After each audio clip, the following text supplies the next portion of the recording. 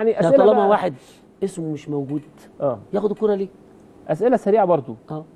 هبتديهم طبعا أسامي كتيرة اسامي كبيرة وأسامي لعيبة تقال. سابوا الفريق محمد فضل محمود عبد الحكيم وقالوا دلوقتي كابتن فتح الله محمد زيدان. آه، ناخدهم كده محمد فضل. آه، محمد فضل كل اللي حصل بالظبط محمد فضل كابتن الفريق باختيار اللعيبة. أنا مش أنا اللي اخترت.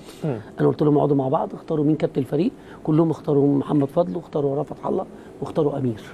بالترتيب كده وبعدين جده وصلاح يعني هم اختاروا رتبوا الناس وقالوا لي هو ده الترتيب مم. عشان أنت عارف في تكوين فريق كل ال 25 لعيب معظمهم مش من النادي. تمام. فكنت لازم لازم يبقى في ترتيب وقيادة في كل شيء. أنت عارف لم لازم يبقى كل شيء منظم. ولازم في الآخر لما بيبقى في مشكلة ولا حاجة هو شخص واحد اللي تقدر تتكلم معاه. بيقعد مع زمايله وبعدين ما بيقعد مع زمايله بيتكلم.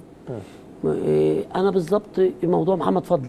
محمد فضل جا- جالي بالظبط وقال لي إيه، أنا في موضوع أنا كابتن معروض عليا أروح نادي المقاولين. قلت له فضل أنا مش موافق إن أنت تمشي. أنا عايزك تكمل مع الفريق. فقال لي يا كابتن أنا عندي بعض الظروف وبعض الحاجات وفضل ده يعني معايا في منتخب الناشئين. أيام الله المرحوم الدكتور محمد علي كان عنده 13 سنة. مم. وأنا رحت جبته من نادي الصيد. مم. يعني كانش بيلعب كان بيلعب في نادي الصيد. جبته وضمته للمنتخب. وفضل عمره ما خطى خطوة في حياته في كرة القدم إلا لما يسألنا أروح فين. مم. راح سموحة قلت له روح سموحة. راح آه، المقاولين قلت له روح المقاولين. وكان موجود المهندس شريف آه، حبيب. سياده المعافي شريف حبيب إيه طبعا الظروف يا كابتن؟ آه فقال لي أنا عندي ظروف إيه هي بقى؟ ما قال لي ظروف بصراحة يعني ظروف مش كروية حياته غير ما يقول لك يا كابتن ودي بالذات ما لا قالها لا لكش ظروف مش كروية آه يعني ظرف عائلي أو ظرف حاجة أنا آه. ما أقدرش طبعا إيه يعني أتكلم في حاجة مش مادي أنا يعني. عارف مم. أنا عارف إيه خلاص الوضع نعديها يا كابتن لا أنا عارف فعلا لكن آه. أنا بقول لك اللي قال لي قلت له بص يا فضل أنا من ناحيتي أنا من ناحيتي أنا يعني حتة إن أنا أوافق إن أنت تمشي دلوقتي وأنت كابتن الفريق ممكن أعمل رجا في الفريق. مم.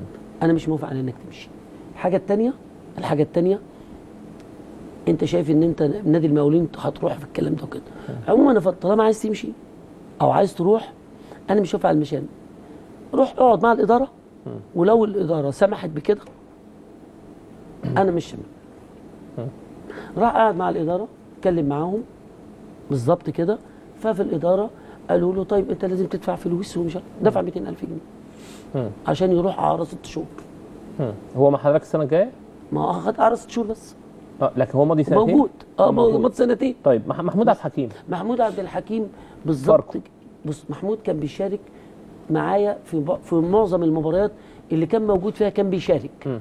بيبدأ الماتشات بيشارك الوقت كده بيشارك في حاجة لقيته برضه في نفس في يوم جاي كابتن أنا جاي لي الكابتن مشير عثمان وجاي لي في فاركو مبلغ مالي قلت له يا محمود انت هنا؟ قال لي يا كابتن المبلغ المالي اللي أنا هاخده في الانتاج لغاية ما السنة تخلص أنا ممكن اخده من فاركو.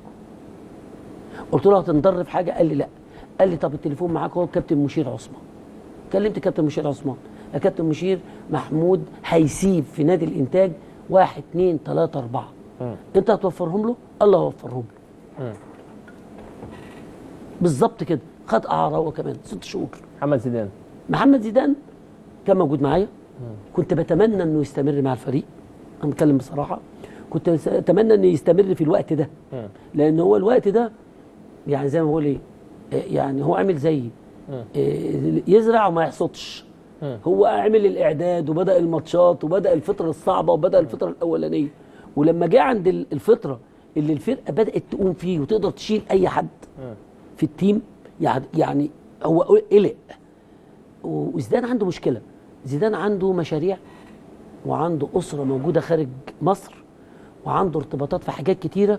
فبقت عنده plan plan عايز يقسم عليه وقته. مم. فبقى الوقت بالنسبة له كبير.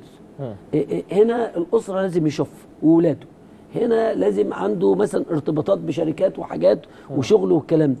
هنا في مش عارف إيه هنا في التمرين والمعسكر والالتزامات والحاجات دي. فال plan كبير. فال plan كبير هو ما قدرش يستحمله. أنا بكلمك بصراحة هو ما قدرش يستحمله. هو زيدان ممكن يحترف ويبقى كويس قوي ويلعب لو طلع بره مصر. مش في مصر. لأن هو في مصر مرتبط بأمير هنسهر النهارده. بلؤي إحنا عندنا مشروع هنروح الصبح. آه بشوقي ما تيجي نروح نزور مش عارف دار إيه مش عارف مين طب ما تيجي نبني إيه؟ أو نعمل إيه؟ عنده. وفي نفس التوقيت طب عايز أشوف ولادي لكن هو ما. يسهرش غير مع كابتن أمين. ما إيه؟ ما يسهرش غير مع كابتن أمين. لا لا هو بيحب الكابتن أمين.